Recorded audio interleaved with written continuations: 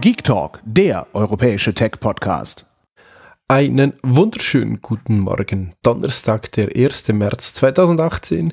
Ihr hört die Geek Talk Daily 321 und ich habe heute die folgenden Themen für euch mitgebracht. Twitter-Lesezeichen, Smartphone-Sicherheitsvergleich, Apple-Karten, WhatsApp, Cydia, Apple Watch, OneCast, selbstfahrende Autos und Amazon mit Ring.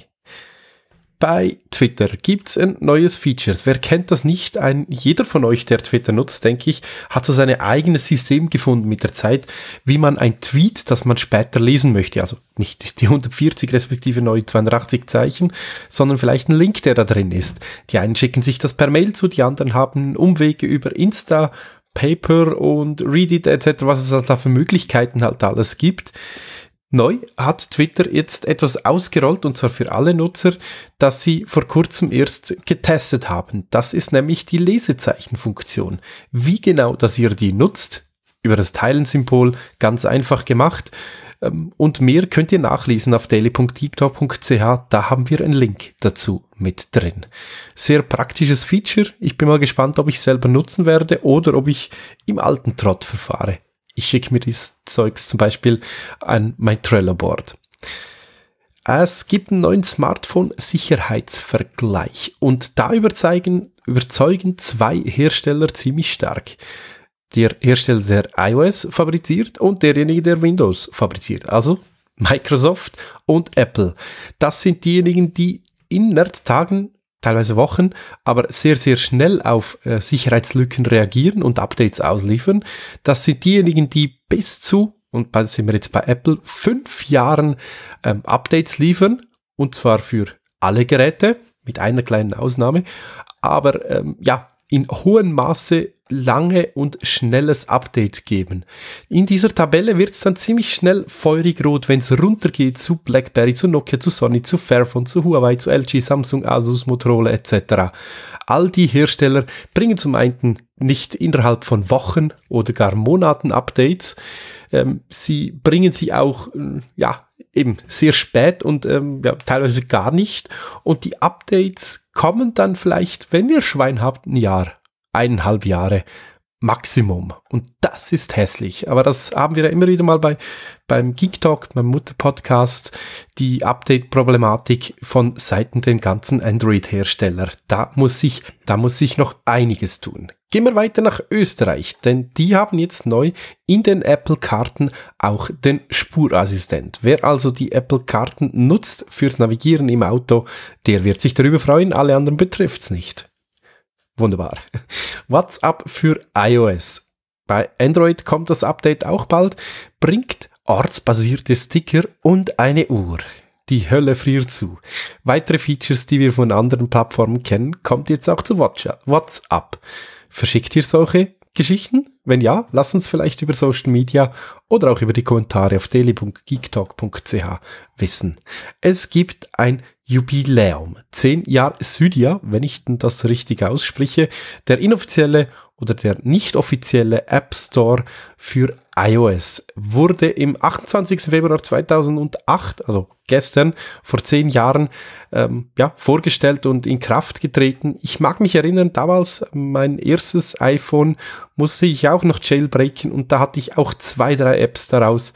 Aber ja, wie es halt so mit dem Thema Sicherheit ist, da kommt ziemlich viel Zeugs mit, was man nicht haben möchte. Dennoch, ähm, ja, ein Cydia Store gibt's immer noch. Gratulation an den Herrn oder die Herren und Damen, die das Ganze da nutzen. Oder umsetzen, besser gesagt.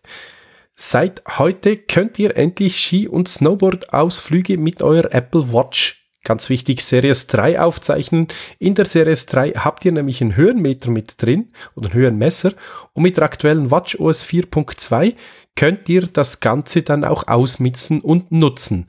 Heißt, die ganzen ähm, Fitnessringe, die ihr oben links oder wo auch immer auf eurer Watch abbildet, könnt ihr damit befeuern, wenn ihr eben Ski und oder Snowboard fahrt.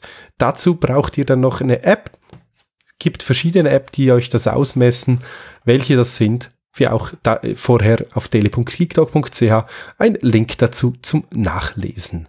OneCast ist ein geniales, ähm, ja, Softwarestückchen, das es euch erlaubt, von eurem Windows 10 Rechner oder umgekehrt von der Xbox auf den Windows 10 Rechner zu streamen.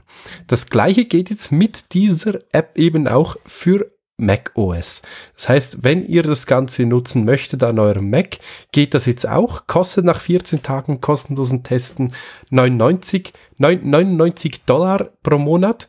Man muss aber wissen, dass das keine offizielle Funktion von Microsoft ist und somit natürlich von Seiten Microsoft und oder auch der Spielehersteller ziemlich schnell auch abgedreht werden kann. Wer es dennoch austesten möchte, tut's und lasst es uns wissen, wie es funktioniert. In Kalifornien sind ab April diesen Jahres endlich autonom fahrende oder selbstfahrende Autos erlaubt und zwar auf der Straße überall im ganzen Bundesstaat.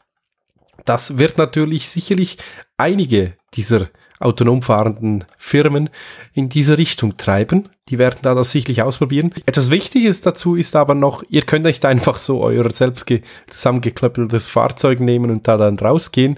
Es braucht natürlich eine Lizenz vom Staat Kalifornien dafür.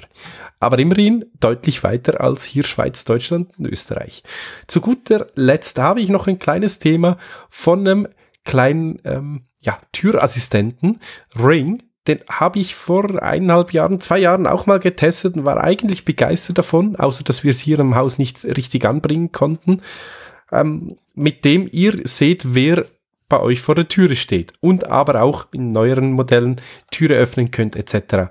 Und das möchte ja ähm, Amazon schon länger, sprich beim Auto haben sie ja schon die ersten Modelle, wo sie euch die Lieferung hinten ins Auto stellen können. Nächstens wird es dann eben darüber die Möglichkeit geben, dem Amazon-Boten reinzulassen über das System. Deshalb hat oder für, dafür hat Amazon, man munkelt für eine gute Milliarde Dollar, die Firma Ring übernommen. Habt ihr so ein Gerät im Einsatz? Wenn ja, lasst es uns wissen. Das waren die News, die ich heute für euch aufbereitet habe. Ich wünsche euch einen wunderschönen Start in den Tag und wer weiß, vielleicht hören wir uns ja morgen, am Freitag nochmals, bevor es dann wieder weitergeht mit dem Achim. In diesem Sinne, habt einen erfolgreichen Tag, euer Pokipsi. Bis dann. Tschüss. Hört mehr Geek Talk.